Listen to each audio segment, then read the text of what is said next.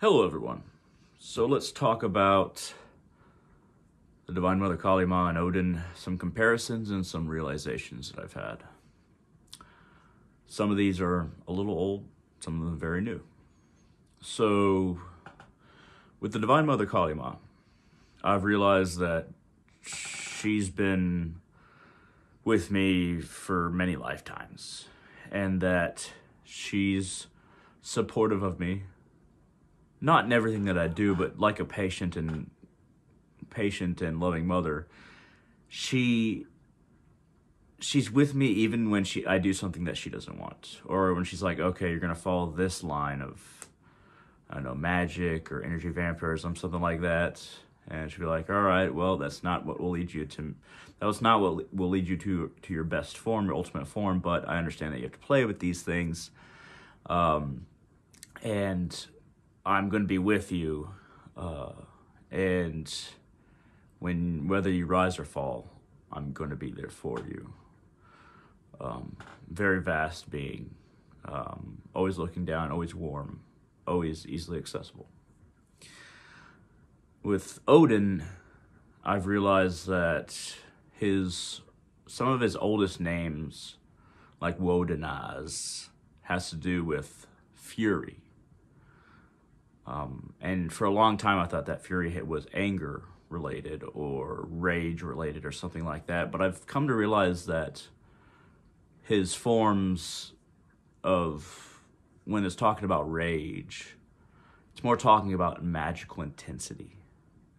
It's talking about the vibrancy of tapping into the current that he himself had to work to tap into you know, giving the runes, finding the strands of reality that are the Elder Futhark runes, and then understanding them, relating to these primordial spirits, then giving them, giving keys to their to their natures and how to contact them, how to feel feel them, how to use them in magic.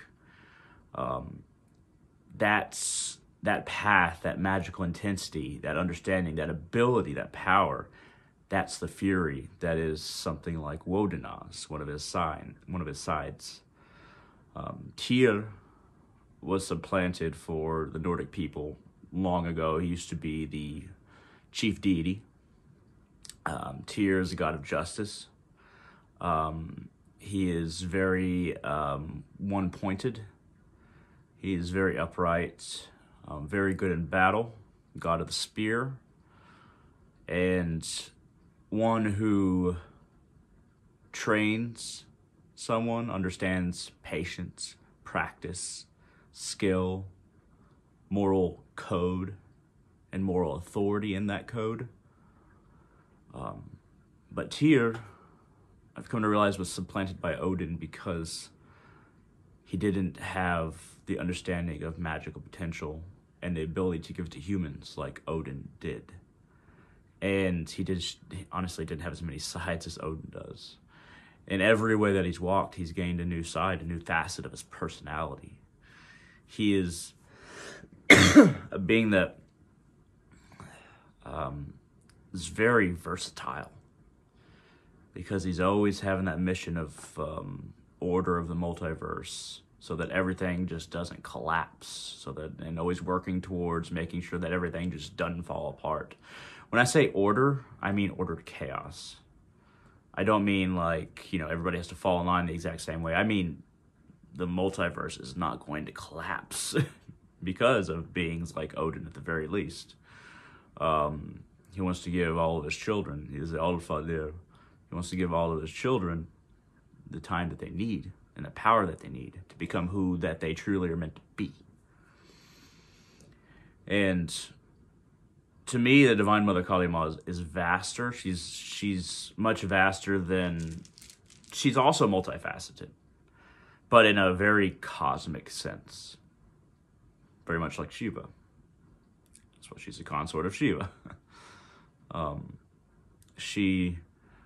It's so funny because most people think of Kali Ma, they, they don't understand how much of a light being she is, that her actual form that she's given me in a vision is just composed of variations of light. She's like the universal soul of motherhood. And with that comes the ability to destroy those who hurt her children or misguide all souls, corrupt all souls. And she becomes the ferocious mother goddess. And that's why she, of course, all these gods and goddesses, and you know, there's a lot of symbolism here, but they, the vast majority know how to fight and can fight these cosmic wars in ways that we can't imagine. You know, we think of weapons and stuff like that, but these are these are beings who can use supernovas just here and there willy nilly. Um, their as their concept, their experience of time is so much grander than one person's life. It's a wonder that the Divine Mother Kali Ma is so compassionate and reaching out to individual children at, at times and always accessible by them when our lives are just not even the blinking of her eye, not even a, not even a, a relative second of her breath. Just we're just there and gone so quickly. And I feel like she's been following me and she's been guiding me and helping me. She's been my mother for many lifetimes, the Divine Mother Kali Ma. Um, it takes a lot to feel her, want to feel her, and I imagine I've been a devotee many times in the past to the Divine Mother Kali Ma. I, of course, have my own name for her, the Divine Mother Kali Ma. Ma Kali is usually what people say. Kali Ma is what sounds good to me in my in in my head, um, but it doesn't. There's a lot of things you can call the Divine Mother Kali Ma. There's a lot of things. Um, if Shiva is a step before the spirit beyond creation, she is two steps, and that's why she's the loving aspect of that which is in constant communion with the source. And um, Odin, also, also multiversal, more limited to beings like us, like human beings, and knowing how to deal with a variety of chaotic beings, but not all of them. His battlefield is a little bit more limited. Um, hers is a long process of understanding. Odin is very grim. Divine Mother Kali Ma, um, a lot of the time when you behold and feel her actual form, it's, hard to describe a, a human emotion beyond compassion to her, but you feel, just like you feel the sun's rays outside and it, you understand that it gives life to everything. Um, sometimes it's good to put images and um, names to the sun. Um, it's useful. You can work with the sun like that. But, and I mean, like sun, the soul, um, S O L. we call the sun Sol and the moon Luna, which I really like.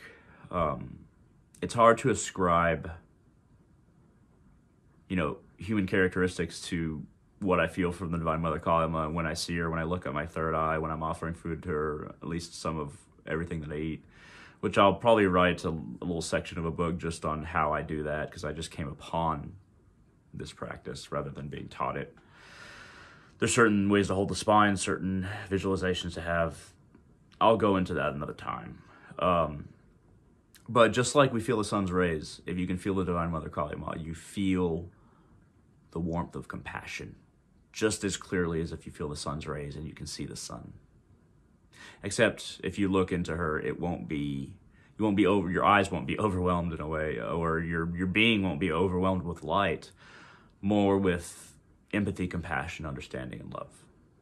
So if anything of that can overwhelm you, it's more that you start to disappear into that compassion. And you know, I've felt those times where it feels like you know I'm disappearing into it when I'm looking to my third eye toward her. Um, Odin, so much of connections to Odin, ways to ways that he's taught man have been lost. We have to. The Hindus, they've been tracking Divine Mother Kali Ma for quite a while, kind of like astrologers in a way, tracking the skies, but tracking her and her what she is, her influence um, a lot of connections to Odin have been lost, so we have to find them again. And Odin is still there. we can still reach out, though a lot of it will be chalked up to personal gnosis. And honestly, personal gnosis is the way that you connect to these gods and goddesses.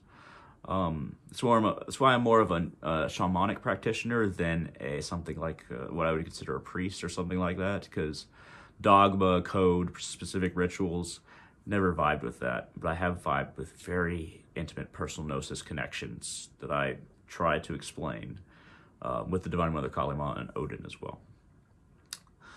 At any rate, uh, this has been a little video about my comparisons and recent, re- uh, you know, realizations and some older realizations about the Divine Mother Kali Ma and Odin. I hope this has been interesting. If you like this video at all, hit that thumbs up down there. It helps out the channel. If you want to leave a comment, even if it's just something simple, that also helps the channel. Uh, feel free to subscribe and share this video wherever you like. I don't mind. Thank you very much, and all of you. Have a wonderful day.